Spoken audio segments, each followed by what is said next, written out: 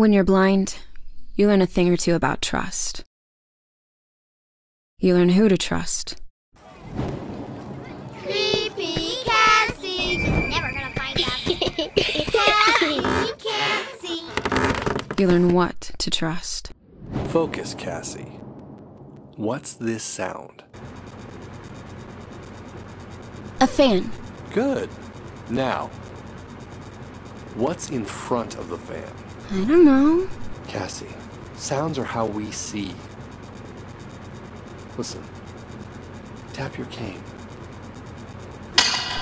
It's a coffee mug. Right. Excellent. Though you are without sight, it does not mean you cannot see.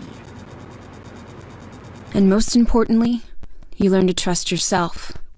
Even if that means hopping on the first flight to Boston to find the mansion from your nightmares. I don't know why I've been having these dreams for months now, and I certainly don't know what's waiting for me at Echo Bluff. But I do know I can't take much more of the torment. So I'm trusting myself to get to the bottom of it.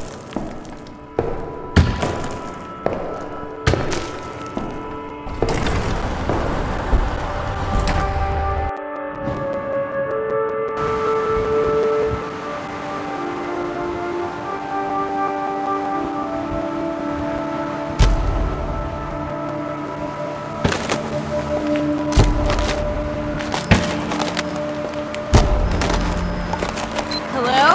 Cassie, I'm on my way to Statesville. Listen, I need to do this. Okay, get paid for a few hours. I'll be there soon.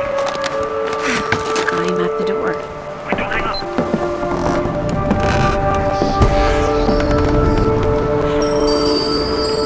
Hello? I know nobody's there, but I'm just doing my due diligence.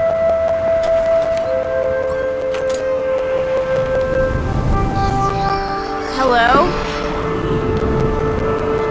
Probably should have worked out a plan if someone is, you know, here.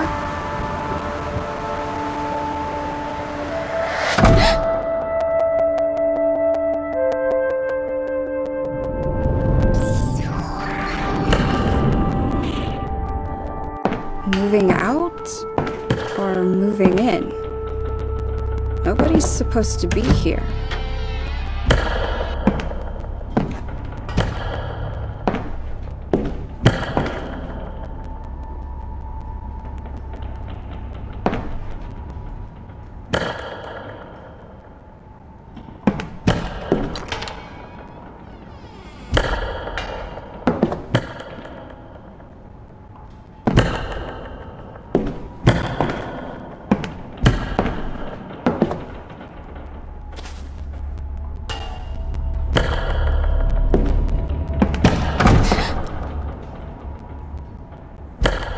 Deep breaths, Cassie. You're here for a reason. In my dreams, I always see a rope, a ticket, an apple, and an axe.